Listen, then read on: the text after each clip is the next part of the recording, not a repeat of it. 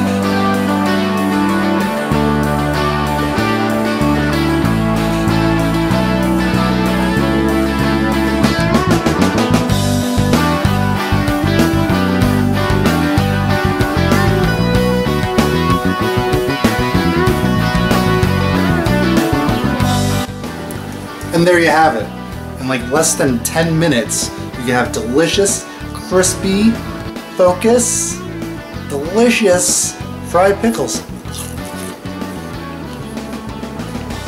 You can make your own dipping sauce.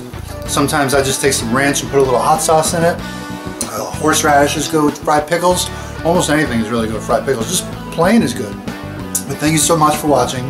Excuse me. I want to go eat some of these fried pickles. And don't forget, I want to see your fried pickle recipe. Put it down in the comments below. Share this video with your fried pickle fanatic friends. And maybe I'll cook something else for you real soon. We'll see you next time.